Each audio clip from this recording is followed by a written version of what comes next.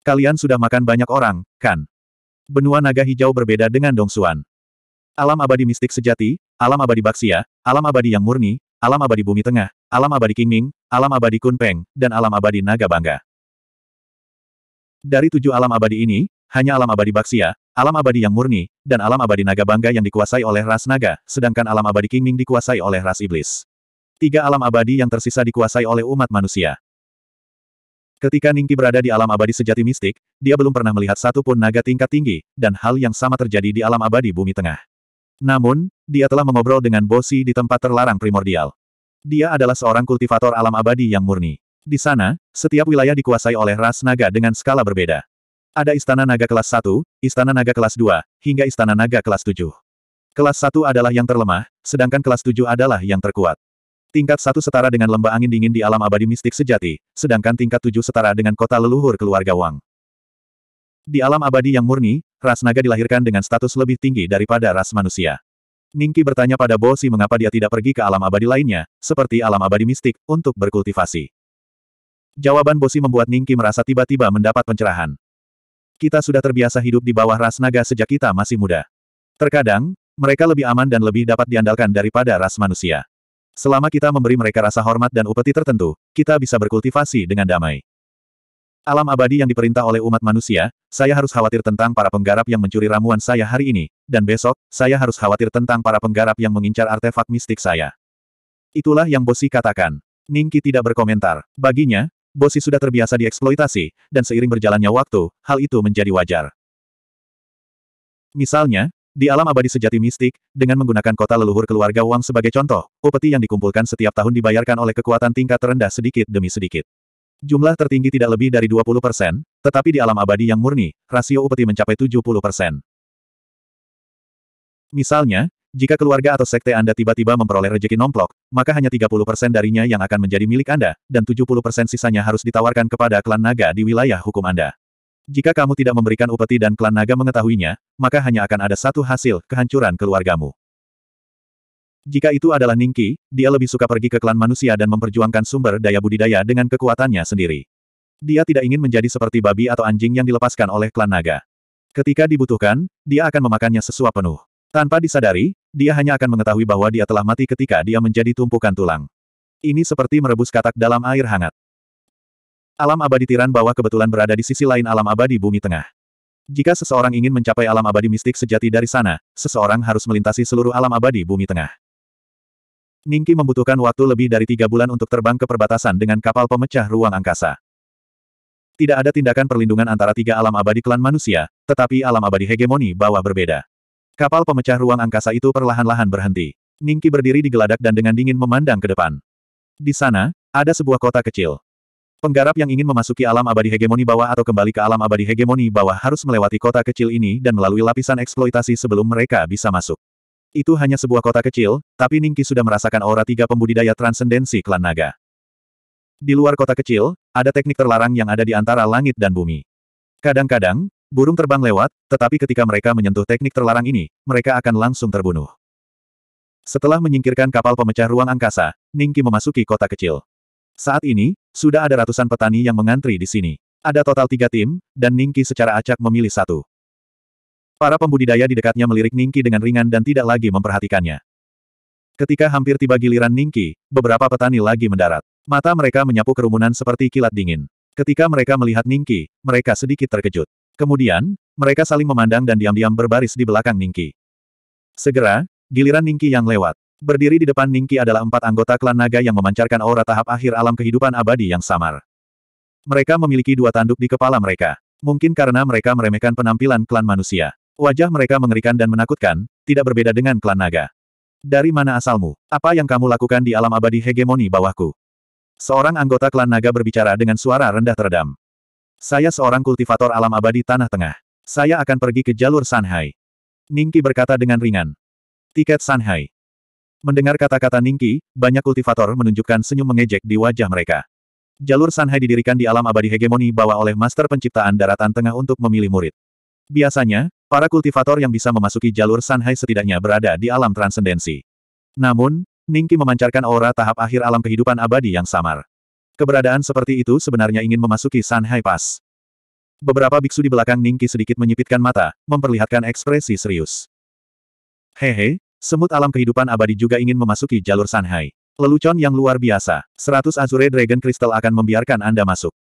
Bibir anggota klan naga membentuk senyuman menghina saat dia mencibir. Saya pikir mereka hanya membutuhkan 30 Azure Dragon Crystal untuk masuk. Mengapa saya membutuhkan 100? Ningki sedikit mengernyit. Mengapa? Jika Anda terus berbicara omong kosong, jangan pernah berpikir untuk masuk.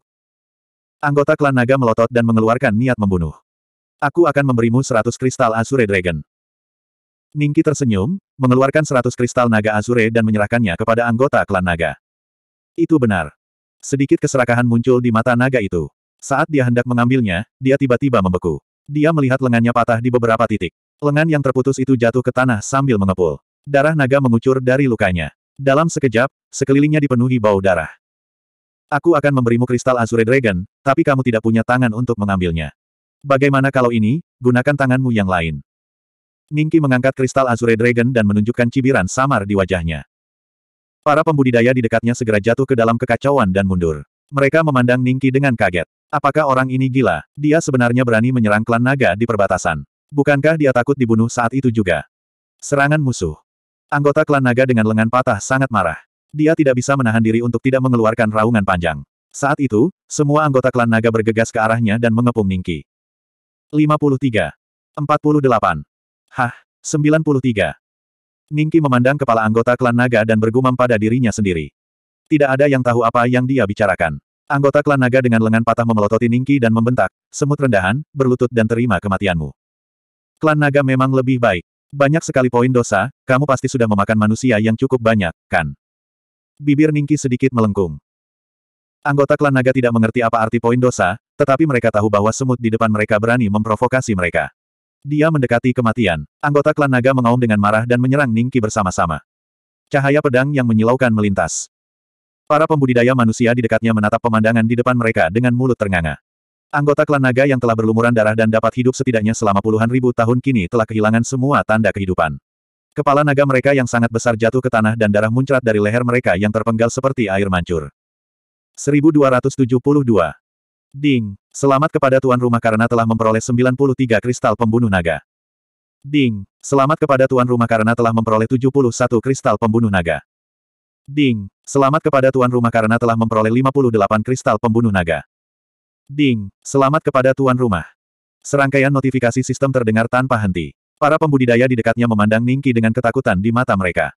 Begitu banyak naga dari alam kehidupan abadi yang mati di tempat hanya dengan satu tebasan darinya. Bahkan klon tidak bisa berbuat apa-apa. Meskipun mereka adalah manusia kultivator, mereka merasakan saling ketergantungan. Jika Ningki menyerang mereka, mereka mungkin akan terbunuh dengan satu tebasan, bukan? Tiga aura tiba dalam sekejap mata. Tiga naga yang bertransformasi berdiri dengan dingin di kehampaan. Mata dingin mereka menyapu mayat naga di tanah dan akhirnya mendarat di Ningki. Semut, Apakah kamu ingin memulai perang dengan kami, alam abadi yang mendominasi? Salah satu naga yang bertransformasi berkata dengan dingin. Tidak perlu bicara dengannya. Bunuh saja dia dan cari tahu dari mana asalnya. Lalu, kita akan mencabutnya. Bahkan jika dia berasal dari Sage Agung Daratan Tengah, dia harus memberi kita penjelasan. Dagingnya kelihatannya sangat harum. Aku ingin dada dan lengannya. Naga alam transendensi lainnya mengukur Ningki dengan rakus. Samar-samar semua orang bisa melihat air liur mengalir di mulutnya, memantulkan cahaya kristal di bawah sinar matahari. Kamu ingin memakanku. Mata Ningki menjadi dingin. Dia mengangkat pedangnya dan menebas naga alam transendensi. Sembilan juta hukum nomologis melonjak di sekelilingnya, menyebabkan ekspresi ketiga naga alam transendensi berubah. Roh tingkat suci. Kapan orang jenius seperti itu muncul di alam abadi daratan tengah? Tidak, kita harus membunuhnya. Ketiga naga alam transendensi langsung mengambil keputusan. Hampir pada saat yang sama, tiga bentuk dharma berbentuk naga turun dari langit dan menyerang Ningki dengan kekuatan yang menekan. Ledakan. HP Ningki turun sepersepuluh setelah dihantam oleh tiga pembangkit tenaga listrik alam transendensi secara bersamaan. Serangan ini menghasilkan total 100 juta HP. Namun, pedang pembunuh naga Ningki langsung menebas naga yang ingin memakannya. Naga alam transendensi langsung terbelah menjadi dua. HP naga jauh lebih tinggi daripada manusia, dan di alam transendensi, HP naga ini sudah mencapai satu miliar. Namun, pedang Ningki memangkas seluruh HP-nya, menyebabkan HP-nya mencapai titik terendah. Bisa dibayangkan betapa menakutkannya kekuatan serangan Ningki saat ini. Pembunuhan instan. Naga karakteristik Dharma mati di depan semua orang. Bagaimana ini mungkin? Para pembudidaya di dekatnya tersentak dan menatap Ningki, tercengang. Ketiga kultivator di belakang Ningki, khususnya, memiliki pandangan ketakutan yang masih ada di mata mereka. Punggung mereka basah oleh keringat. Pergi. Ketika dua naga alam transendensi lainnya melihat ini, ekspresi ngeri muncul di mata mereka. Mereka sebenarnya berbalik dan lari ke dua arah berbeda tanpa ragu-ragu. Dengan kecepatan mereka, Ningki tidak bisa membunuh keduanya secara bersamaan. Dia hanya bisa memilih salah satunya. Namun, pihak lain adalah seorang kultivator alam transendensi. Jika dia berusaha mati-matian untuk melarikan diri, itu akan memakan waktu setidaknya satu bulan. Setelah memikirkannya, dia memutuskan untuk tidak mengejar mereka. Di bawah tatapan ngeri semua orang, dia berjalan ke Baxia Celestial Realm. Kejar dia, kita berdua akan mencari bala bantuan. Saya. Jangan ganggu aku. Jika kamu ketahuan olehnya, katakan saja padanya dari mana asalmu. Dari tiga orang yang berbaris di belakang Ningki, dua di antaranya berbalik dan pergi. Hanya satu orang yang mengejar Ningki dengan wajah pucat. Keluarlah. Kamu telah mengikutiku sepanjang jalan. Sosok Ningki berhenti di udara dan berkata tanpa menoleh. Tidak ada gerakan di belakangnya. Jika kamu tidak keluar, kamu akan berakhir seperti para naga tadi. Ningki berkata dengan acuh tak acuh. Bei, Patriark Bei Xuan. Seorang pria muda muncul dari kehampaan dan dengan malu-malu terbang ke depan Ningki dan membungkuk hormat. Kamu adalah murid keluarga Wang. Ningki memandang pemuda itu dengan acuh tak acuh dan melihat atributnya. Wang Wu, kultivator alam kehidupan abadi tahap akhir. Melihat usianya, senioritasnya seharusnya sama dengan Wang Wu. Iya, ya, saya Wang Wu. Saya dari halaman utama, cabang Patriark Wang Yan. Wang Wu mengangguk cepat dan memperkenalkan dirinya. Dia tidak yakin apakah Patriark Beisuan ini akan membiarkannya pergi hanya karena dia adalah murid keluarga Wang. Lagi pula, ketika dia berada di kota leluhur keluarga Wang, dia mendengar bahwa kedua putra Wang Xuanlong dibunuh oleh Patriark Beisuan ini. Bisa dibayangkan bahwa Patriark Bei Xuan tidak memperlakukan murid keluarga Wang dengan baik. Hanya dengan menyebut Wang Yan, Wang Wu akan lebih percaya diri. Patriark Bei Xuan setidaknya akan memberi perhatian pada Patriark Wang Yan, bukan? Oh, cabang Wang Yan. Ningki sedikit mengangguk. Lalu kenapa kamu diam-diam mengikutiku? Jangan berbohong dan katakan yang sebenarnya. Jika tidak, bahkan jika Anda berasal dari cabang Patriark Wang Lin, itu tidak ada gunanya. Tentu saja aku tahu itu tidak ada gunanya. Bukankah Wang Xuanlong adalah contohnya? Wang Wu diam-diam mengutuk dalam hatinya dan kemudian dengan ragu bertanya pada Ningki, Patriark Beisuan, tahukah Anda bahwa banyak orang telah mencari Anda? Banyak orang mencariku. Apakah karena pagoda Kunsu? Mata Ningki berbinar dan dia segera mengerti alasannya. Sepertinya Meng Tiansu benar-benar punya beberapa trik. Bahkan Suan Zhen tidak bisa mengendalikan pagoda Kunsu, tetapi pagoda itu tersegel di tangannya. Iya, memang karena pagoda Kunsu. Wang Wu dengan cepat mengangguk. Pada saat yang sama, dia menatap Ningki dengan sedikit keterkejutan di matanya. Sepertinya rumor itu benar. Pagoda Kunsu diambil oleh Patriark Beisuan. Posisi Ningki di dalam hatinya tiba-tiba naik beberapa tingkat. Bagaimanapun, Ningki telah melakukan sesuatu yang bahkan tujuh orang suci di benua Azure Dragon tidak dapat melakukannya. Katakan padaku apa yang terjadi. Ningki mengerutkan kening. Dia tidak ingin menjadi kambing hitam Meng Tiansu. Wang Wu terkejut sesaat dan sedikit kegembiraan muncul di matanya. Fakta bahwa Patriark Leluhur Mistik Utara bersedia berbicara dengannya berarti bahwa dia tidak akan dihukum karena mengikuti Patriark Leluhur Mistik Utara. Wang Wu segera merasa lega. Setelah itu, Wang Wu memberitahu leluhur mistik utara segala sesuatu yang terjadi sejak Ningki meninggalkan kota leluhur keluarga Wang. Pada awalnya, Patriark Xuan Zhen mengerahkan semua pembudidaya keluarga Wang untuk menemukan Patriark Bei Xuan. Bahkan kedua leluhur, Wang Yan dan Wang Xi, dimobilisasi. Ini awalnya masalah pribadi keluarga Wang, tetapi seseorang membocorkannya berita itu. Sekarang hampir semua penggarap di alam surgawi mengetahuinya. Bahkan alam surgawi lainnya pun telah mendengarnya. Wang Wu berhenti sejenak. Patriark Beisuan, aku khawatir berita ini akan menyebar ke seluruh benua Azure Dragon dalam waktu sekitar setengah tahun. Pada saat itu, selain Patriark Xuan Zhen, enam orang suci lainnya secara pribadi akan datang untuk menangkapmu. Patriark Beisuan, mengapa kamu tidak mengikutiku kembali ke keluarga dan mengembalikan pagoda Kunsu kepada Patriark Xuan Zhen? Pagoda Kunsu tidak ada di tanganku. 1273. Apa, pagoda Kunsu tidak bersama Patriark Beisuan? Wang Wu terkejut dan langsung mengira Ningki berbohong. Namun, setelah memikirkannya dengan hati-hati, dia menyadari bahwa Ningki tidak perlu berbohong padanya. Wang Wu bertanya dengan kaget, siapa yang memiliki pagoda kunsu? Ningki meliriknya dengan acuh tak acuh. Tidak ada gunanya bagimu jika kamu mengetahuinya. Wang Wu buru-buru berkata, tetapi sekarang, semua orang berpikir bahwa pagoda kunsu ada di tangan Anda. Bahkan Patriark Xuan Zhen pun berpikir begitu. Saya khawatir. Biarkan mereka datang kepadaku. Ningki terkekeh. Jejak kekaguman muncul di mata Wang Wu. Situasi yang dihadapi Ningki saat ini akan membuat kultivator alam transendensi lainnya menggaruk-garuk kepala dan menggaruk telinga. Namun, Ningki sangat tenang. Kemampuannya untuk mempertahankan ketenangannya adalah sesuatu yang tidak dapat dibandingkan dengan sebagian besar pembudidaya klan Wang. Jika tidak ada yang lain, kamu bisa kembali. Ningki melambaikan tangannya. Mata Wang Wu berkedip dan dia dengan cepat berkata, leluhur Patriark Beisuan, bagaimana mungkin kamu tidak memiliki seseorang untuk melayanimu? Apa yang kamu pikirkan tentangku? Mengapa saya membutuhkan seseorang untuk melayani saya? Kamu bukan perempuan. Ningki terkekeh. Mendengar itu, Wang Wu merasa sedikit malu. Tapi kemudian dia memikirkan sesuatu dan berkata dengan suara rendah, leluhur Patriark Beisuan, apakah ada yang harus kamu lakukan di alam surgawi Heksia? Saya telah berada di sini selama lebih dari seratus tahun dan saya sangat mengenal tempat ini.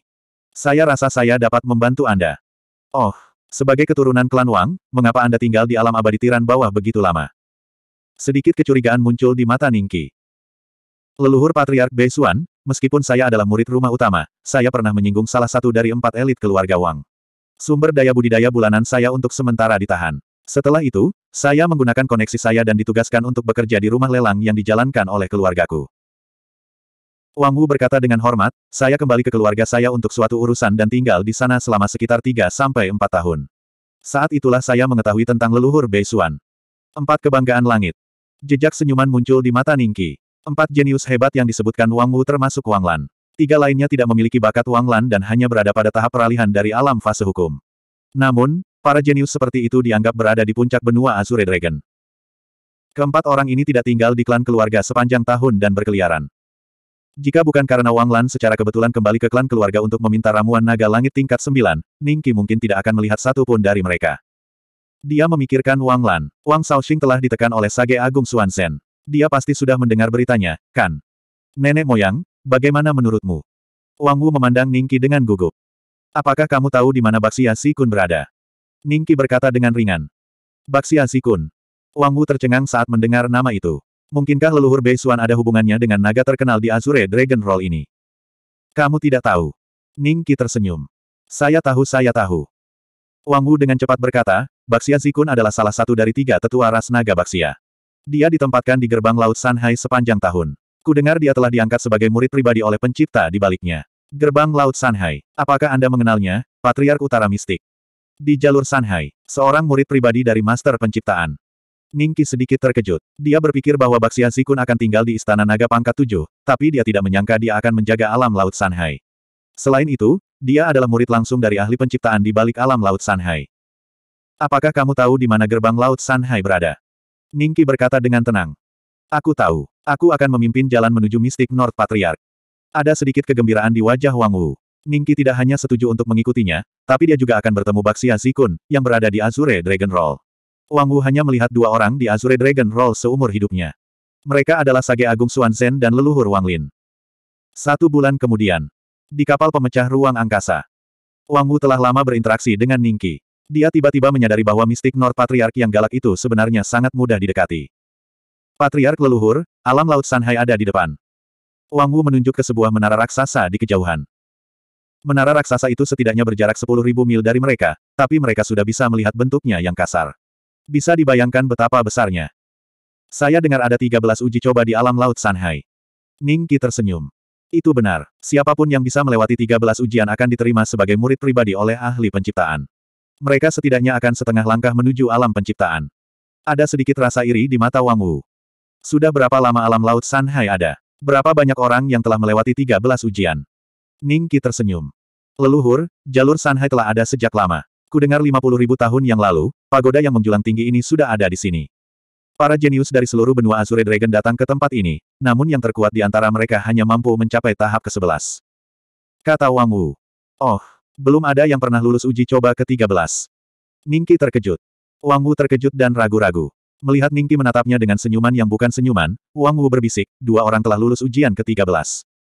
Siapa? Ningki bertanya dengan rasa ingin tahu.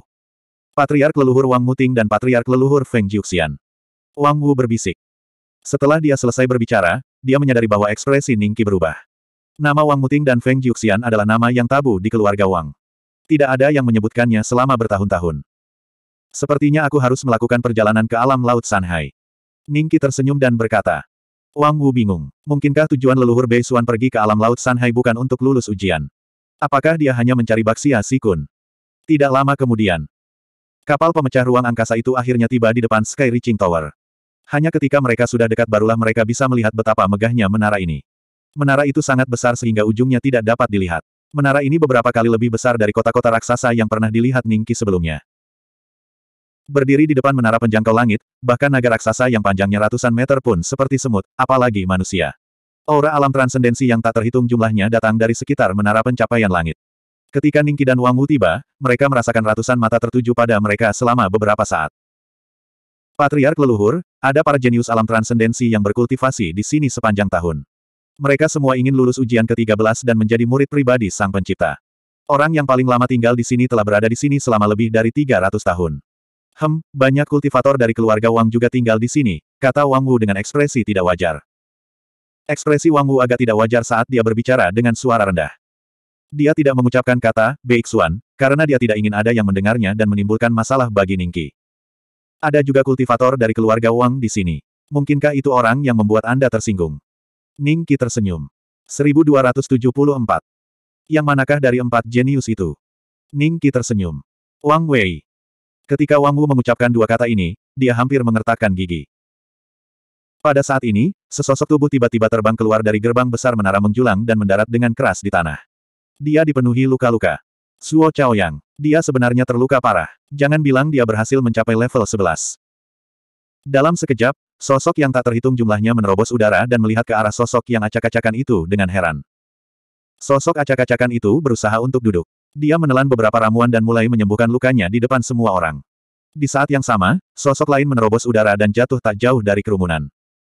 Yang lainnya, apa yang terjadi hari ini? Sepertinya si jenius keluarga Wang, Wang Wei, juga ada di dalam.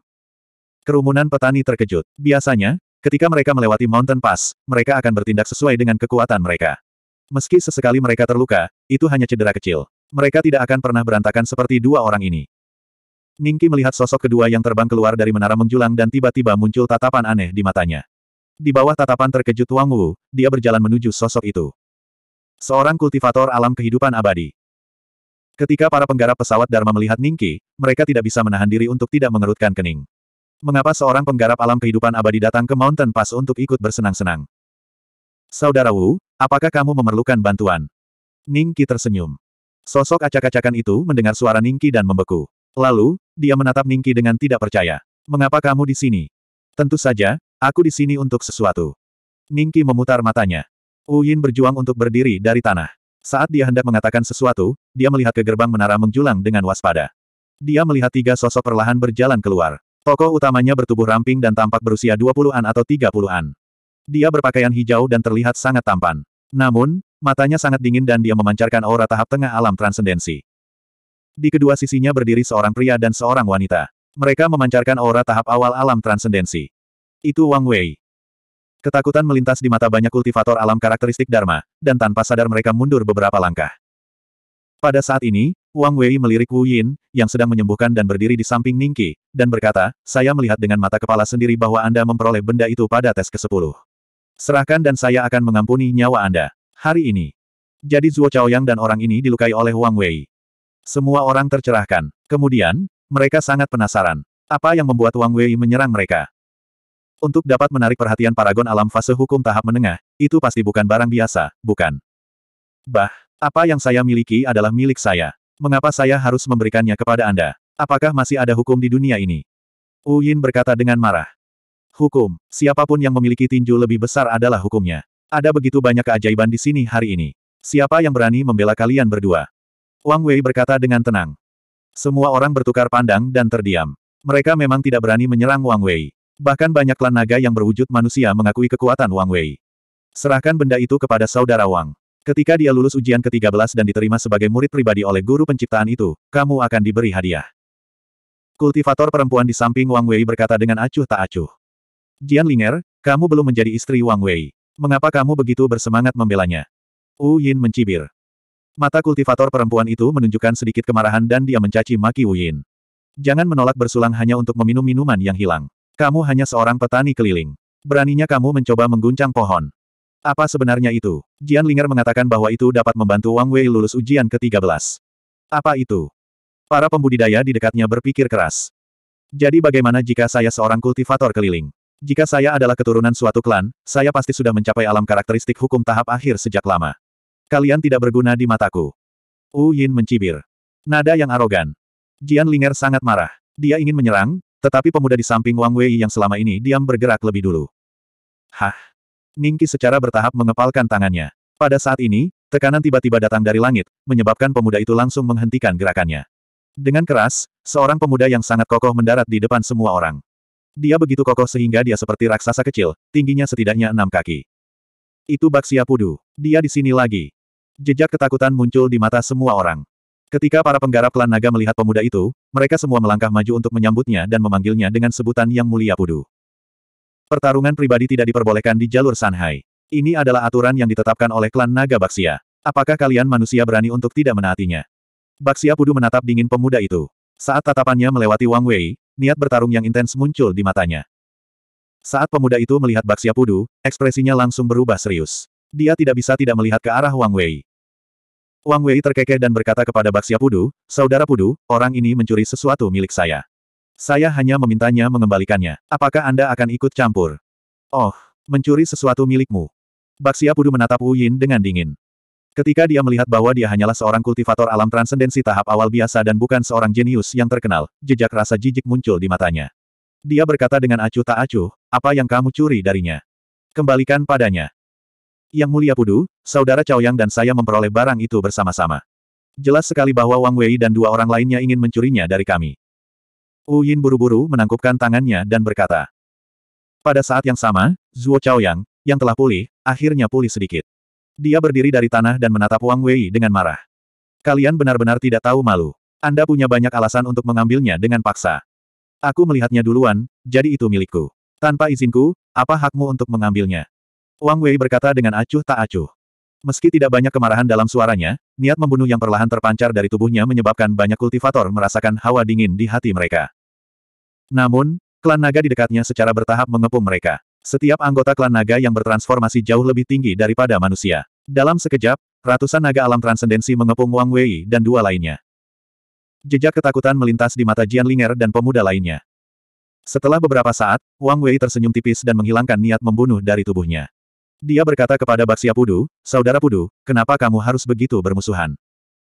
Haha, aku tahu kamu akan memberiku sedikit wajah. Bubar, bubar. Baxia Pudu tertawa dan melambaikan tangannya. Anggota klan naga di dekatnya segera bubar. Jian Linger menghela nafas lega. 1275. Wang Wu, apa yang kamu lakukan di jalur Sanhai? Wang Wei bertanya dengan dingin. Jadi dia adalah murid keluarga Wang. Semua orang tercerahkan. Wajah Wang Wu menjadi gelap saat dia melihat Wang Wei menatapnya. Dia menundukkan kepalanya dan mengepalkan tangannya. Aku sudah bilang sebelumnya bahwa kamu tidak boleh tampil di hadapanku. Ini adalah kesempatan terakhirmu. Jika ada waktu berikutnya, jangan salahkan aku karena tidak memperhitungkan ikatan keluarga kita. Pergilah. Wang Wei berteriak dengan dingin. Wang Wu mengertakkan gigi, memandang Ningki dengan nada meminta maaf, dan hendak pergi. Wang Wu, apakah aku mengizinkanmu pergi? Suara Ningki datang dari belakang Wang Wu. Wang Wu berhenti dan menoleh untuk melihat Ningki dengan tidak percaya. Apakah leluhur Bei Suan akan membela saya? Siapa kamu? Beraninya kamu mengganggu bisnis keluarga Wang. Wang Wei menatap Ningki dengan dingin, dengan niat membunuh di matanya. Kamu gila. Wu Yin buru-buru mengedipkan mata pada Ningki. Ningki bertindak seolah-olah dia tidak melihatnya dan memandang Wang Wei dengan acuh tak acuh. Saya membawa Wang Wu ke sini. Dia hanya bisa pergi jika saya memintanya. Benar kan, Wang Wu? Iya, patriark leluhur. Mata Wang Wu menunjukkan sedikit kegembiraan saat dia menangkupkan tangannya dan membungkuk pada Ningki. Dia telah melihat Ningki membunuh naga alam transendensi tahap awal dengan matanya sendiri, dan dia telah mendengar tentang perbuatan Ningki dari kota leluhur keluarga Wang. Wang Wu sangat percaya diri pada Ningki. Selama Ningki membela dia hari ini, Wang Wei tidak akan bisa mempermalukannya dengan mudah. Patriark leluhur. Murid keluarga Wang ini memanggilnya leluhur-leluhur. Ekspresi para penggarap di dekatnya sedikit berubah. Bahkan cara Baxia Pudu memandang Ningki pun berubah. Sedikit rasa ingin tahu muncul di matanya. Itu aneh. Dia hanyalah seorang kultivator negara kehidupan abadi. Mengapa dia memiliki gelar leluhur? Mungkinkah statusnya terlalu rendah? Itu mungkin. Patriark leluhur. Ekspresi ngeri melintas di mata Wu Yin. Selain Wang Wu, dia mungkin satu-satunya yang menebak identitas Ningki. Dulu ketika mereka berada di jangkauan dalam, dia berpikir bahwa Ningki dan Feng Jiuxian tidak dapat dipisahkan. Sekarang setelah mereka berada di sini lagi, para murid keluarga Wang memanggilnya sebagai leluhur. Bukankah itu berarti, Ningki telah kembali ke keluarga? Memikirkan hal ini, ekspresi Wu Yin berubah menjadi jelek. Dia punya dendam dengan Sage Agung Suan Sen. Jika Ningki kembali ke klan, maka hubungan antara dia dan Ningki akan sulit ditangani. Wang Wu, siapa anak ini? Mengapa Anda memanggilnya leluhur? Wang Wei dengan hati-hati memandang Ningki beberapa kali dan memutuskan bahwa dia belum pernah melihat Ningki sebelumnya. Klan Wang juga tidak mungkin memiliki seorang penggarap alam kehidupan abadi yang disebut leluhur tua. Matanya berkilat marah saat dia menatap Wang Wu. Jika Wang Wu tidak memberinya penjelasan hari ini, dia tidak akan ragu untuk membunuh Wang Wu dan Ningki. Biarpun Baxia Pudu mengambil tindakan, dia tidak akan bisa menghentikannya. Para naga di dekatnya semua memandang ke arah Baxia Pudu karena aura Wang Wei mulai melonjak. Dia akan menyerang kapan saja. Baxia Pudu menggelengkan kepalanya sedikit. Sisi lain hanyalah dua penggarap alam kehidupan abadi. Jika mereka dibunuh, biarlah. Dia masih akan memberikan wajah Wang Wei. Jika dia mencoba menghentikan Wang Wei dua kali berturut-turut, akan ada dendam kematian di antara mereka. Ngomong-ngomong, dia benar-benar tidak ingin bermusuhan dengan keluarga Wang. Memikirkan kembali saat dia diburu oleh Wang Zong masih membuatnya merasa tidak nyaman. Baxia Pudu tahu bahwa orang luar memanggilnya naga bodoh, tapi dia tahu situasinya sendiri. Dia memang sedikit sombong dan pergi ke kota leluhur keluarga Wang untuk memprovokasi mereka. Kemudian, ketika Wang Zong mengambil tindakan, dia menyadari bahwa selalu ada orang yang lebih kuat di luar sana. Reputasi petapa Agung Xuan Zhen sebagai orang nomor satu di peringkat Azure Dragon bukanlah hal yang tidak patut. Berani sekali kamu, Wang Wei. Mengapa kamu tidak membungkuk setelah melihat leluhur keluarga Wang? Apakah Anda ingin memberontak? Wang Wu memandang Wang Wei dan berteriak dengan dingin. Omong kosong apa nenek moyang keluarga Wang? Nenek moyang keluarga Wang dengan kultivator alam kehidupan abadi. Wang Wei tidak berbicara, tetapi pemuda di sampingnya berbicara lebih dulu. Wang Wu dengan dingin menatapnya dan berkata, Kong Jiu, saya akan menyampaikan kata-kata Anda kepada leluhur tua Wang Lin. Saya harap Anda tidak menyesali apa yang Anda katakan hari ini. Apakah kamu mencoba menakutiku? Apakah menurut Anda Anda memenuhi syarat untuk menyebut leluhur tua Wang Lin? Kong Jiu memandang Wang Wei dengan jijik dan mencibir. Wang Wu, hanya ada dendam pribadi di antara kita, tetapi jika kamu bergabung dengan orang luar untuk menghina leluhur keluarga Wangku, maka aku hanya bisa membawamu kembali ke keluarga dan memasukkanmu ke penjara kuno sehingga kamu tidak akan pernah bisa bereinkarnasi. Wang Wei berkata dengan tenang. Wang Wei, buka mata anjingmu. Leluhur tua Bei Xuan adalah putra leluhur tua Muting dan cucu leluhur tua Wang Lin. Berapa generasi kamu di bawah leluhur tua Bei Xuan? Saya pikir Andalah yang ingin ditekan di penjara kuno. Wang Wu dengan dingin berteriak pada Wang Wei. Sebelum dia mengatakan ini, dia telah mendapatkan izin Ningki, itulah sebabnya dia berani mengungkap identitas Ningki. Baxia Zikun berbeda dari Long Cheng. Ningki tidak yakin apakah dia akan peduli dengan tantangan seorang kultivator alam kehidupan abadi. Namun, jika itu adalah putra Wang Muting dan Feng Jiu, maka Baxia Zikun pun harus menunjukkan dirinya. Apa, putra Wang Muting dan Feng Jiu? Bagaimana ini mungkin? Bukankah keduanya telah hilang selama ratusan tahun? Semua pembudidaya manusia di dekatnya terkejut dan memandang Ningki dengan tidak percaya. Cepat, laporkan masalah ini ke atasan. Baxia Pudu segera mengirimkan suaranya ke salah satu anggota Dragon Rache. Anggota ras naga itu mengangguk, berubah menjadi wujud aslinya, dan melaju ke kejauhan. Kemudian, Baxia Pudu memandang Ningki dari atas ke bawah dengan ekspresi yang sangat serius.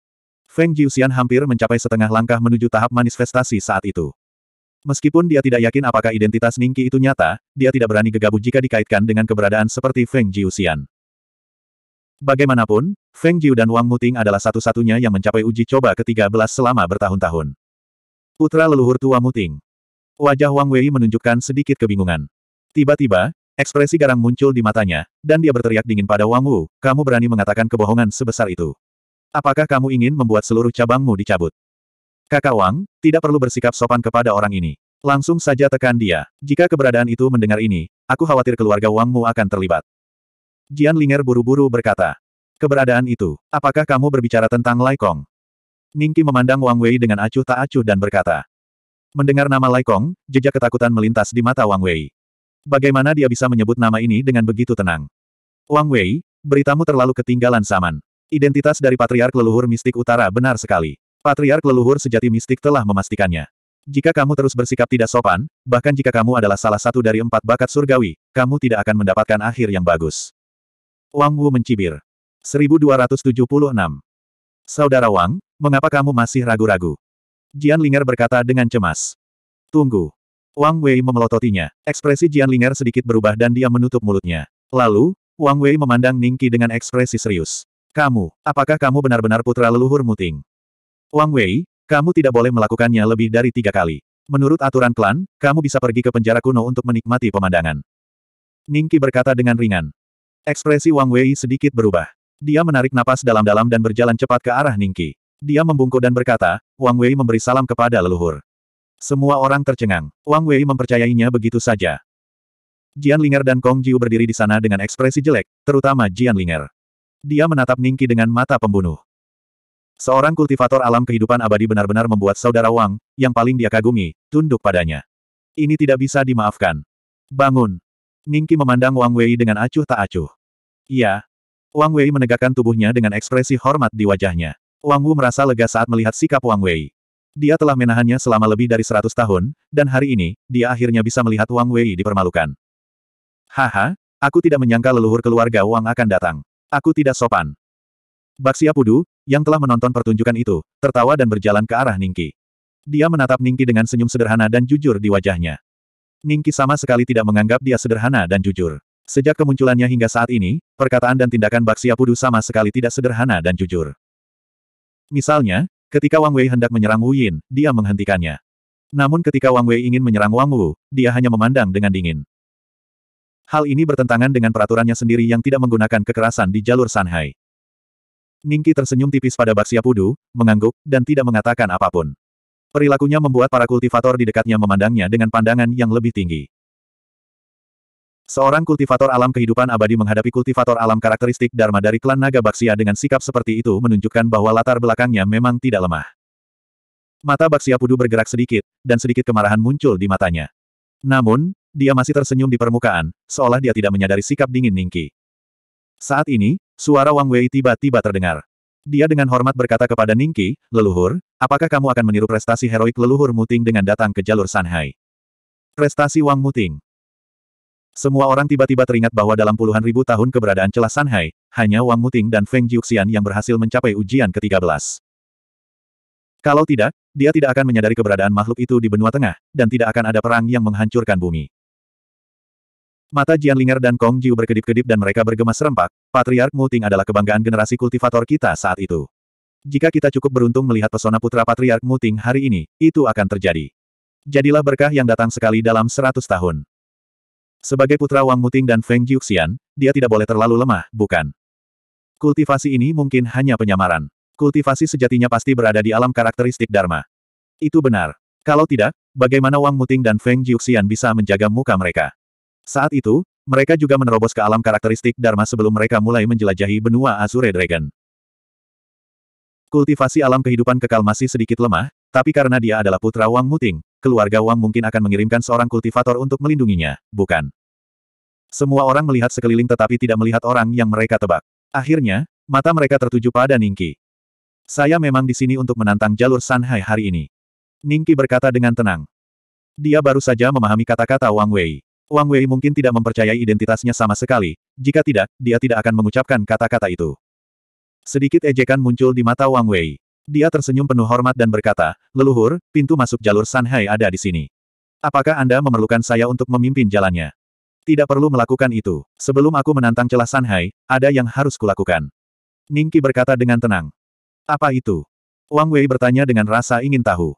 Aku ingin tahu apakah Baxia Sikun ada di sini. Ningki memandang Baxia Pudu dan bertanya. Hem, Anda mencari leluhur saya. Baxia Pudu terkejut. Saya mendengar bahwa Baxia Sikun adalah ahli dalam peringkat Azure Dragon, jadi saya di sini untuk meminta saran. Ningki berkata dengan tenang. Setelah dia mengatakan itu, semua orang terkejut. Terutama Wang Wu. Dia sangat ketakutan hingga tubuhnya gemetar. Dia memandang Ningki dengan tidak percaya. Bukankah leluhur Bei Suan mengenal Baxia Sikun? Mengapa dia ada di sini untuk meminta nasihat? Baxia Sikun adalah seorang kultivator fase hukum tahap akhir. Kekuatan tempurnya mirip dengan leluhur Wang Lin. Apakah leluhur Bei Suan gila? Wajah Wang Wei juga dipenuhi dengan keterkejutan saat dia menatap Ningki, tercengang. Jian Ling Er dan Kong Jiu tersentak. Mungkinkah Ningki benar-benar orang gila? Dia berani menantang Baxia Zikun di Basia Celestial Realm. Saudara Beisuan, apakah kamu gila? Tahukah kalian seperti apa keberadaan Baxia Zikun itu? Bahkan leluhurmu Wang Lin tidak akan berani melawannya begitu saja. Cepat tarik kembali apa yang baru saja Anda katakan. Aku akan menanyakan Baxia Pudu untukmu. Karena Anda adalah keturunan langsung dari Sage Agung Suan Zhen, saya yakin klan naga Baxia tidak akan mempersulit Anda. Wu Yin dengan cepat mengirimkan transmisi suara ke Ningki. Anggota klan naga Baxia di dekatnya berkumpul satu persatu. Mata mereka dipenuhi dengan niat membunuh dan kemarahan yang tak ada habisnya saat mereka menatap Ningki. Saudara Wu, jangan khawatir. Saya tahu apa yang saya lakukan. Ningki melihat betapa khawatirnya Wu Yin, jadi dia menghiburnya. Kamu, ingin menantang leluhurku.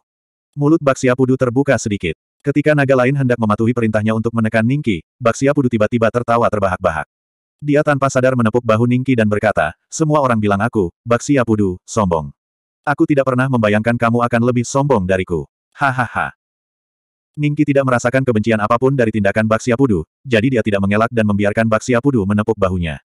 Namun, Baxia Pudu sangat kuat. Jika itu adalah kultivator alam kehidupan abadi tahap akhir, mereka akan terhempas ke tanah, tetapi tubuh Ningki tidak bergerak sama sekali. Semua orang sedikit terkejut saat melihat ini. Dari sini terlihat bahwa tubuh fisik Ningki tidaklah sederhana. Mata Baxia Pudu berbinar dan dia tersenyum. Kamu ingin menantang leluhurku. Tidak masalah. Dia sedang tidur, jadi aku akan memanggilnya. Setelah dia selesai berbicara, Baxia Pudu terbang ke kejauhan dan berhenti di depan pegunungan. Leluhur, seseorang datang untuk menantangmu. Baxia Zikun sedang tidur di pegunungan ini. Setiap orang adalah seorang kultivator alam transendensi dan dapat melihat jarak puluhan ribu kilometer. Mereka semua menatap pegunungan dengan sedikit rasa ingin tahu di mata mereka. Gemuruh, gemuruh, gemuruh. Raungan datang dari pegunungan, dan semua orang merasakan bumi bergetar. Saat berikutnya, pegunungan sebelum Baksiapudu mulai berguncang hebat. Lalu, perlahan-lahan terbang ke langit. Pegunungan terbang. Hai. Semua orang menghirup udara dingin. Itu jelas merupakan naga raksasa dengan tubuh yang menutupi langit, tapi di punggungnya berdiri seluruh pegunungan. Berapa tahun Baksia Zikun tidur di sini hingga terbentuk barisan pegunungan di punggungnya. 1277. Naga yang memegang gunung itu perlahan mengangkat kepalanya dan menatap Baxia Pudu. Mengapa kamu mengganggu mimpiku? Baxia Pudu membungkuk hormat. Leluhur, seseorang ingin menantangmu. Tantang aku. Tubuh Baxia Zikun bergetar, dan gunung di punggungnya jatuh ke tanah dengan keras, menimbulkan awan debu setinggi ratusan meter. Ketika debu sudah mengendap, naga besar itu telah hilang. Sebaliknya, ada eksistensi dengan tinggi dan penampilan yang sama dengan manusia. Dia berkata dengan ringan, siapa yang ingin menantangku? Itu dia. Baxia Pudu menunjuk ke arah Ningki. Desir, desir, desir. Mata yang tak terhitung jumlahnya tertuju pada Ningki. Ada yang sombong, ada yang bingung, ada yang penuh harap, dan ada yang mengaguminya. Terlepas dari kekuatan Ningki, masih ada beberapa kultivator alam transendensi yang diam-diam mengaguminya. Setidaknya dia berani menantang Baxia Zikun. Alam kehidupan kekal tahap akhir. Baxia Zikun mengerutkan kening. Dia mengulurkan tangannya, dan dalam sekejap mata, dia dan Baxia Pudu muncul di atas kepala Ningki. Mereka menatap Ningki, lalu ke Baxia Pudu, kamu tidak bisa menghadapi keberadaan seperti itu. Mengapa kamu membangunkanku? Saat semua orang melihat Baxia Zikun di langit, mereka buru-buru membungkuk, terutama para naga. Mata mereka menunjukkan fanatisme yang ekstrim. Dalam pikiran mereka, Baxia Zikun adalah seorang idola. Leluhur, dia adalah putra Wang Muting dan Feng Jiuxian. Karena dia menantangmu, aku sendiri tidak berani mengambil keputusan. Baxia Pudu berbisik, tapi sedikit kecerdikan muncul di matanya. Putra Wang Muting dan Feng Jiuxian. Ekspresi Baxia Zikun sedikit berubah. Dia menatap Ningki lagi dan sedikit mengernyit. Wang Muting dan Feng Jiuxian muncul. Tidak, mereka tidak melakukannya. Kata Baxia Pudu. Kamu, apakah kamu benar-benar putra Wang Muting dan Feng Jiuxian? Baxia Zikun memandang Ningki dengan acuh tak acuh. Iya. Ningki mengangguk. Jika jiwa Wang Muting tidak muncul di keluarga Wang, Ningki tidak akan yakin. Namun kini, dia yakin tubuhnya memang lahir dari Wang Muting dan Feng Jiuxian. Karena kamu berani menantangku dengan budidaya alam kehidupan abadi tahap akhir, kamu harus sangat percaya diri dengan kekuatanmu sendiri, bukan? Namun, aku, Baxia Zikun, bukanlah seseorang yang bisa ditantang oleh sembarang orang. Orang tuamu berbakat, dan aku menghormati mereka, tapi menurutmu kamu ini siapa? Anda pikir Anda memenuhi syarat untuk menantang saya? Baxia Zikun berkata dengan dingin pada Ningki. Wang Wu merasakan hawa dingin di hatinya. Jika Baxia Zikun marah dan membunuh Ningki di tempat, bahkan jika Sage Agung Suan Zen ingin bergerak, dia tidak akan bisa tiba di sini dalam sekejap.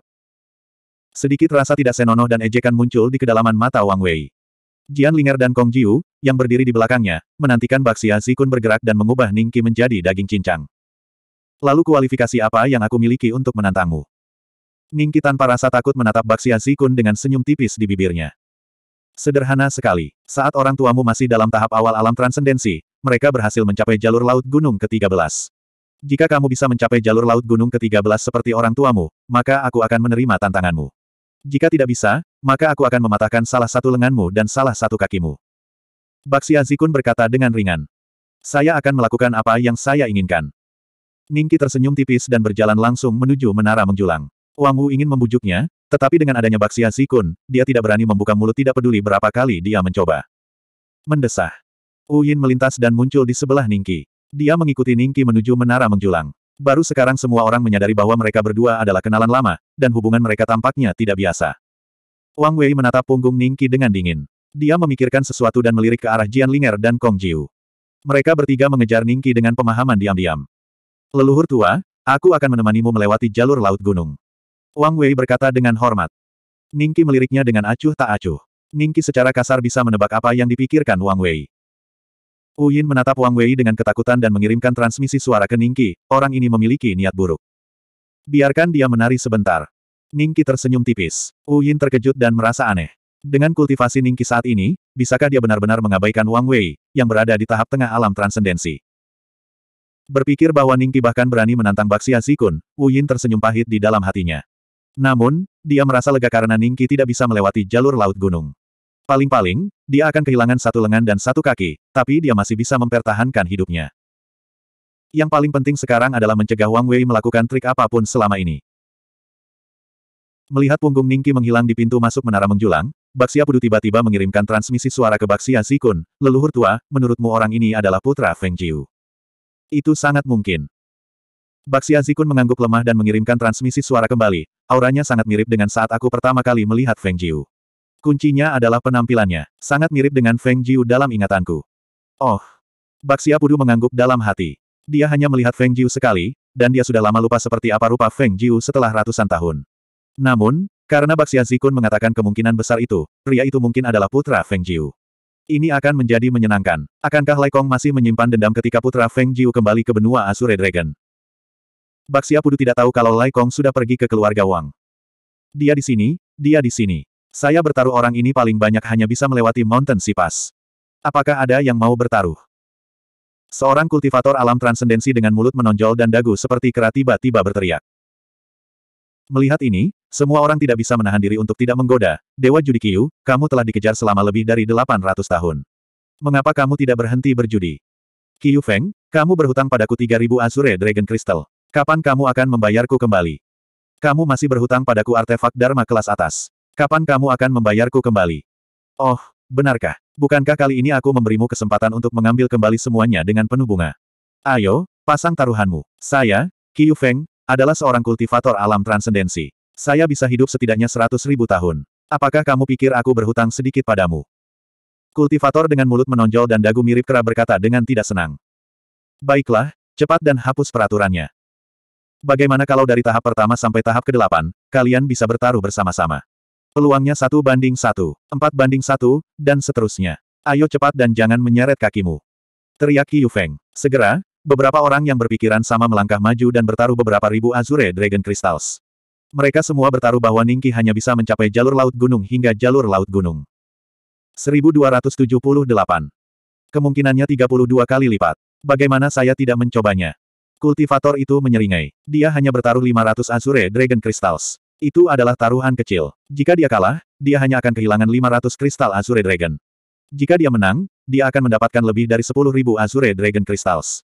Itu adalah keuntungan yang sangat besar.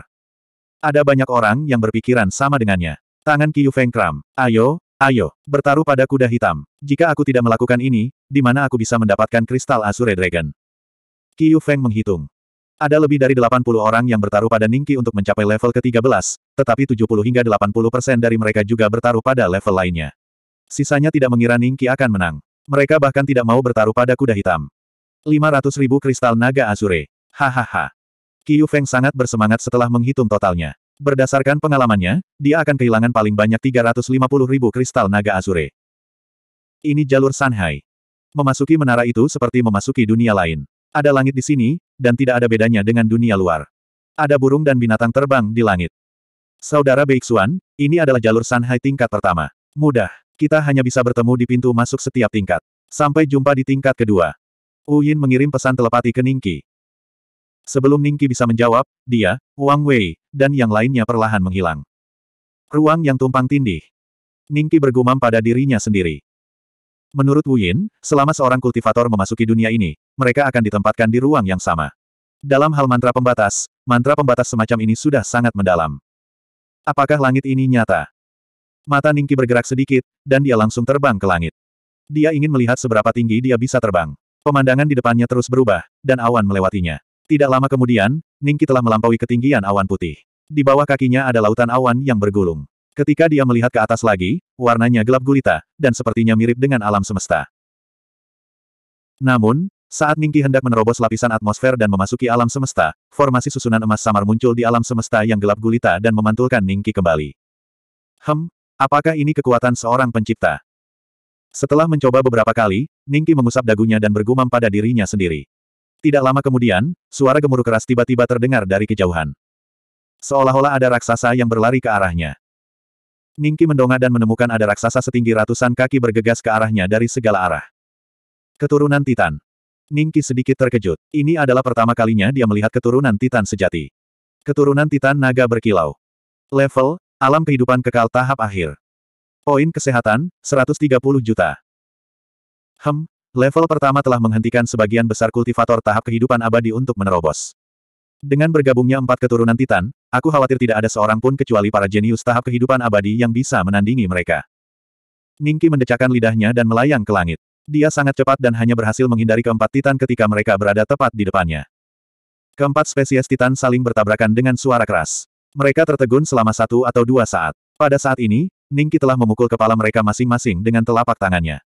Naga perak yang melonjak itu langsung menghancurkan tubuh mereka, mengubahnya menjadi kabut berdarah yang memenuhi langit. Oh, apakah mereka benar-benar keturunan Titan? Ningki sedikit mengernyit. Dia awalnya menduga bahwa keturunan Titan ini mungkin telah dilatih dengan semacam teknik terlarang, tapi dari kelihatannya, mereka seharusnya benar-benar ada. Jika ada empat keturunan Titan di setiap tahap, maka akan ada banyak sekali pembudidaya yang mampu melewati tahap pertama dalam puluhan ribu tahun terakhir. Kalau begitu, berapa banyak keturunan Titan yang harus mati? Sebelum Ningki sempat memikirkannya, pemandangan di sekitarnya berubah lagi. Apakah ini tingkat kedua? Ningki melihat sekeliling dengan tenang. Tempat ini sedikit berbeda dari tingkat pertama. Itu adalah gurun tanpa apa pun di sekitarnya. Kemudian, beberapa sosok muncul di sampingnya. Wu Yin, Wang Wei, dan yang lainnya muncul satu demi satu. Melihat Ningki telah mencapai level ini, mereka sedikit terkejut. Saudara Beixuan, kamu melewati level itu begitu cepat. Wu Yin tidak dapat memahami Ningki. Sudah berapa lama sejak dia berpisah dari Ningki di wilayah dalam? Putra Wang Muting memang luar biasa. Wang Wei diam-diam berkata di dalam hatinya. Niat membunuh di dalam hatinya menjadi semakin kuat. Sebagai salah satu dari empat talenta surgawi keluarga Wang, bahkan keempat tetua agung akan memberinya wajah. Namun, Ningki menentangnya hanya karena Wang Wu.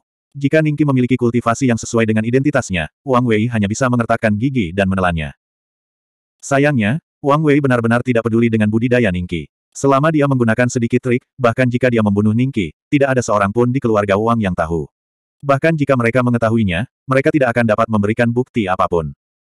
Tunggu sebentar lagi. Setelah kamu melewati beberapa level lagi, aku akan mengirimmu ke jalanmu. Wang Wei mencibir dalam hatinya. Pada saat itu, semua orang akan mengira Ningki telah meninggal di jalur laut gunung.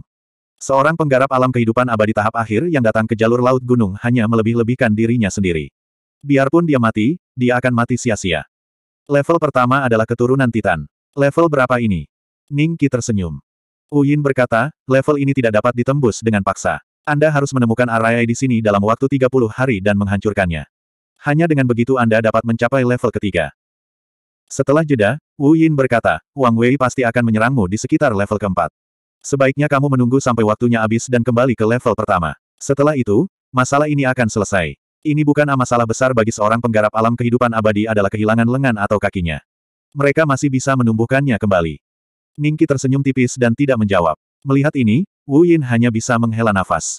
Dia menatap Wang Wei dengan tatapan agak waspada.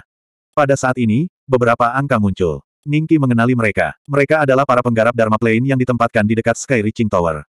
Ketika mereka melihat Ningki dan yang lainnya, mereka menyapa mereka dengan senyuman dan terbang ke kejauhan.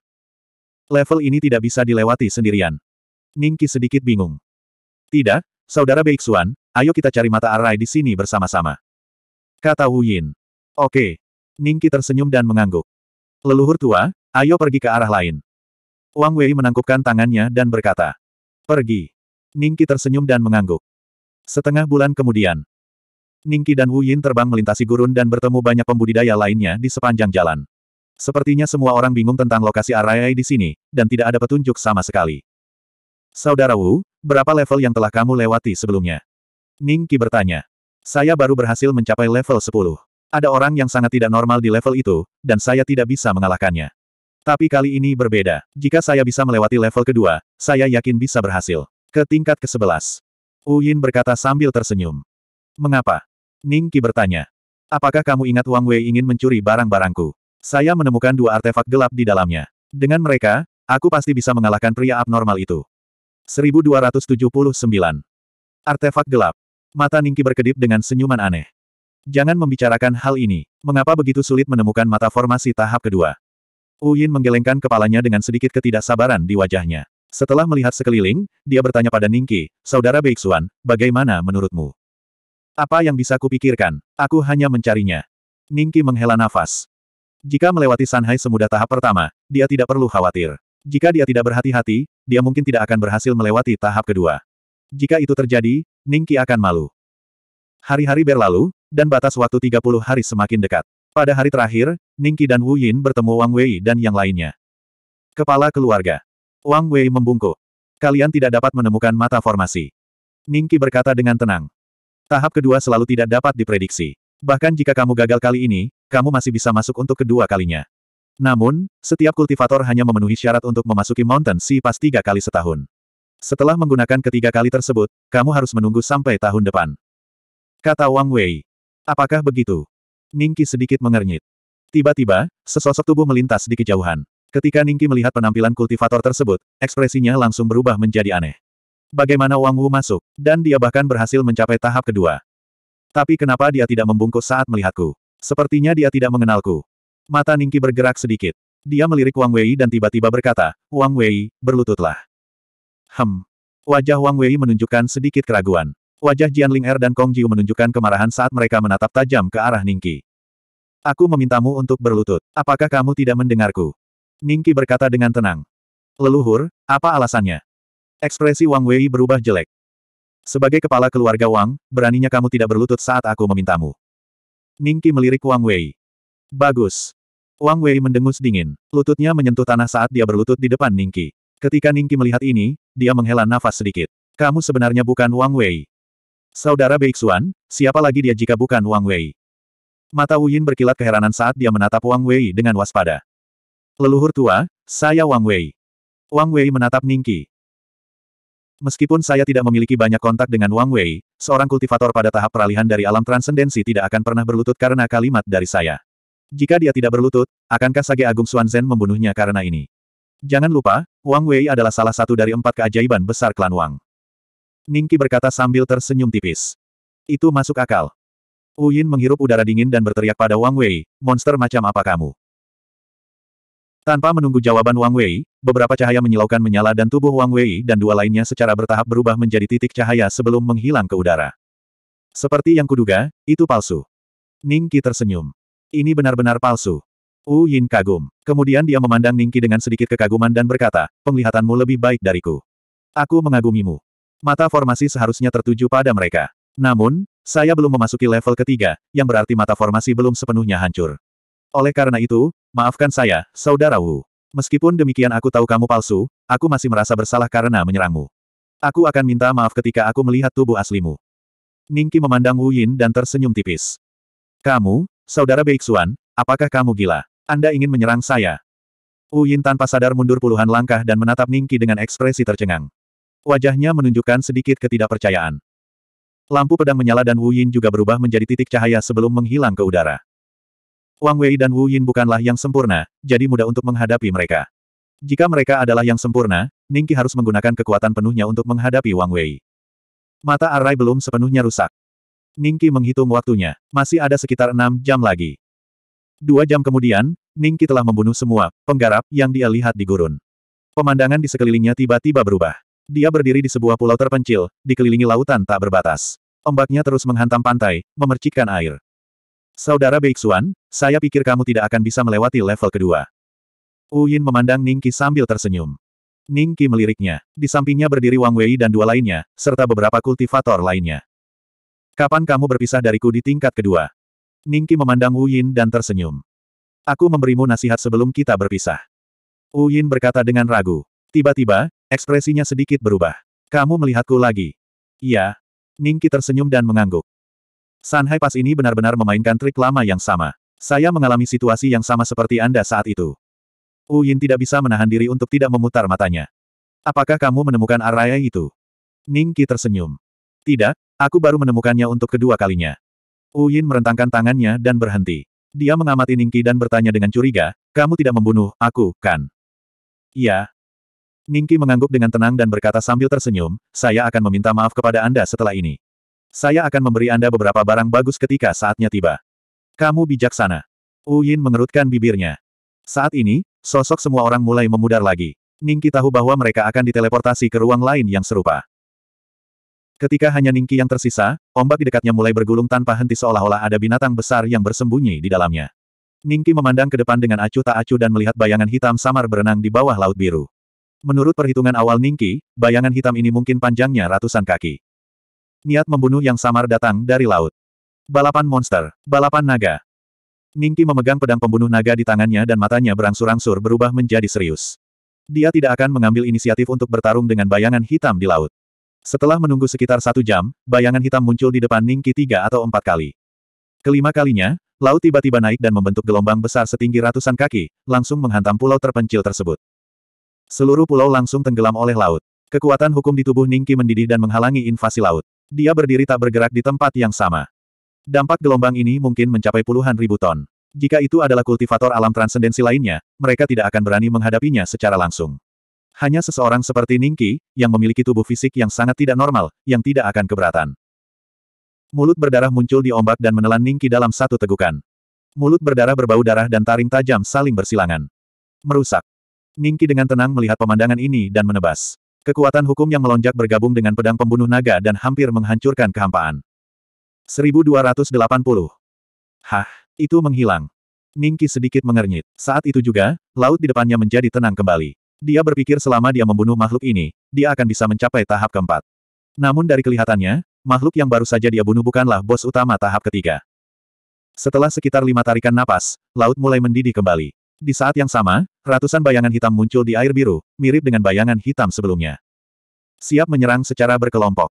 Ning Qi mencibir. Tapi pada saat itu, monster yang sangat besar perlahan muncul dari laut. Tubuhnya ratusan kali lebih besar dari bayangan hitam. Ning Qi sedikit terkejut saat melihatnya. Ini jelas merupakan gurita raksasa. Kulitnya berwarna merah tua, dan matanya seperti permata hitam yang memantulkan cahaya menyilaukan. Ia menatap Ningki, dan ratusan tentakel menjulur dari laut, berayun dengan lembut. Ningki mengenali bayangan hitam yang baru saja menyerangnya. Itu adalah salah satu tentakel gurita raksasa ini. Esensi darah gurita raksasa itu sangat kuat. Bahkan dari jarak ratusan kaki, Ningki bisa merasakan esensi darah mengerikan yang mengalir di tubuhnya. Esensi darah yang sangat kuat. Seratus kali lebih kuat dari keturunan Titan di tahap pertama. Ningki sedikit mengernyit dan melirik atribut gurita raksasa itu. Monster tingkat elit di tahap awal alam transendensi, jerat langit bermata seribu. Poin kesehatan, 3 miliar 500 juta. 3 miliar 500 juta poin kesehatan. Ningki sedikit terkejut. Esensi darah orang ini sebenarnya sangat kuat. Dia hanya tidak tahu seberapa kuat pertahanannya. Tapi dari cara pedang pembunuh naga memotong tentakelnya, pertahanannya tidak sekuat itu. Bagaimana seorang kultivator alam transendensi tahap awal biasa bisa menandingi monster seperti itu? Semut, bau di badanmu sangat harum. Sebuah suara aneh terdengar di telinga Ningki. Kedengarannya seperti laki-laki, tapi bukan perempuan. Gurita raksasa, kamu bisa bicara. Ningki memandang pria yang oleh sistem disebut jerat langit bermata seribu. Matanya menyapu seluruh tubuhnya, mencari 998 mata lainnya. Jangan mengira hanya kalian manusia yang bisa berbicara. Kami para monster tidak bisa dianggap enteng. Suara itu terdengar lagi. Ningki memandang gurita besar itu dan tatapan aneh melintas di matanya. Menurutku, bahkan seorang kultivator alam transendensi tingkat menengah pun mungkin tidak akan bisa menang melawanmu dengan mudah. Tapi karena sudah ada eksistensi sepertimu di tahap ketiga, mengapa ada begitu banyak kultivator yang bisa berhasil melewati tahap ketiga? Huh, orang itu mengurungku di sini dan menjadikanku target percobaan bagi kalian manusia. Kenapa aku harus mendengarkannya? Setiap saat, saya sedang tidur. Hanya beberapa tentakel dengan kesadaranku yang akan bermain-main dengan santai ketika seseorang datang. Suara androgini terdengar lagi. Gurita raksasa itu sepertinya mengungkapkan kemarahannya. Perairan di dekatnya mulai berputar dengan cepat, membentuk beberapa pusaran air raksasa. Dengan kata lain, jika aku mengalahkan salah satu tentakelmu, aku akan lulus. Tapi kenapa kamu tidak membiarkanku lewat sekarang? Ningki mengerutkan kening. Haha, itu karena badanmu wangi sekali. Baunya enak banget sampai-sampai mau tak mau aku terbangun dari mimpiku untuk melihat pria seperti apa dirimu. Gurita raksasa itu menari dengan gembira, matanya yang serakah tidak pernah lepas dari Ningki. Kamu, jangan bilang kamu ingin memakanku. Ningki menyentuh dagunya. Tentu saja aku ingin memakanmu. Apa kamu takut? Apakah kamu takut? Apakah kamu takut? Jika Anda sangat takut, daging Anda pasti akan menjadi sangat lesat. Saya merasa ada sesuatu di otak Anda. Setelah saya memakannya, kekuatan saya pasti akan meningkat pesat. Pada saat itu, aku akan kabur dari tempat ini dan orang itu tidak akan bisa menemukanku lagi. Hahaha. Saat heboh, ombak di dekatnya langsung naik. Jadi ia merasakan inti dari Asura jahat. Aneh, bahkan lelaki tua Suan Zen itu tidak bisa merasakannya, tapi gurita raksasa ini bisa. Pikir Ningki. Saat ini, dia dianggap sebagai mangsa oleh gurita raksasa, dan cara dia memandang gurita raksasa juga seperti cara seorang pemburu memandang mangsanya. Aku akan memberimu dua pilihan. Aku punya kontrak hewan peliharaan iblis di sini. Tanda tangani dan jadilah hewan peliharaan iblisku, dan aku akan membiarkanmu hidup. Pilihan kedua, aku sudah lama tidak makan makanan. Ningki memandang gurita raksasa itu dan berkata dengan ringan. Kontrak hewan peliharaan iblis. Brengsek. Bahkan semut sepertimu yang bahkan tidak berada di alam transendensi ingin memperbudakku. Aku akan bertarung denganmu. Gurita raksasa itu marah. Dalam sekejap, ratusan tentakel menyapu Ningki. Kekuatan yang diberikan oleh setiap tentakel pada dasarnya setara dengan serangan kekuatan penuh dari seorang kultivator alam transendensi awal. Kalau begitu kamu pilih opsi kedua. Ning Qi mencibir. Bukan saja dia tidak mundur, tapi dia juga mengangkat pedang pembunuh naga dan menyerang ke depan. Dalam sekejap, puluhan tentakel terpotong menjadi kabut darah di depannya. Namun, ada terlalu banyak tentakel, dan dia pasti tersapu beberapa kali. HP-nya perlahan berkurang. Kamu cukup kuat, semut. Suara gurita raksasa terdengar lagi, namun gerakannya tidak pernah berhenti. Itu masih menyerang Ningki, dan tentakel yang terputus tumbuh kembali dalam sekejap mata. Rasanya seperti ada aliran tentakel yang tak ada habisnya. Ningki menyadari bahwa setiap kali tentakelnya beregenerasi, HP-nya akan turun sekitar 5 juta. Dan setiap kali dia memotong tentakelnya, HP gurita raksasa itu juga akan turun sebesar 5 juta. Dua jam kemudian, HP gurita raksasa turun dari 3,5 miliar menjadi 700 juta, namun Ningki masih memiliki 600 hingga 700 juta HP. Pertahanan Ningki yang menakutkan dan bilah tajamnya membuat gurita raksasa itu perlahan-lahan merasa khawatir, dan mulai merasakan sedikit kemunduran. Sial, Kenapa aku tidak bisa membunuh semut ini? Ningki merasakan bahwa ia memiliki niat untuk mundur, jadi dia tidak lagi menunda dan langsung terbang menuju gurita raksasa itu. Dia mengayunkan pedangnya dan memotong semua tentakel yang menghalangi jalannya. Dalam sekejap, dia muncul di depan gurita raksasa itu dan menatap kedua mata besarnya yang sedikit buta saat ini. Kamu tidak bisa mematahkan pertahananku sama sekali. Jangan sia-siakan usahamu. Ningki dengan santai mengayunkan pedang pembunuh naga dan memotong beberapa tentakel yang menyerangnya. Dia tersenyum pada gurita raksasa itu. Sialan mesum. Gurita raksasa itu mengeluarkan raungan yang sangat marah, dan kemudian langsung tenggelam ke laut dengan kecepatan yang sangat cepat. Dalam sekejap mata, tubuhnya tenggelam di laut. Menurutmu ke mana kamu akan pergi? Ningki menebas, dan air laut langsung terbelah menjadi dua, memperlihatkan punggung gurita raksasa yang melarikan diri dengan panik. Tampaknya tebasan ini akan mengancam nyawanya. Gurita raksasa itu tiba-tiba meraung dan berbalik. 998 pasang bola mata tiba-tiba muncul di tubuhnya.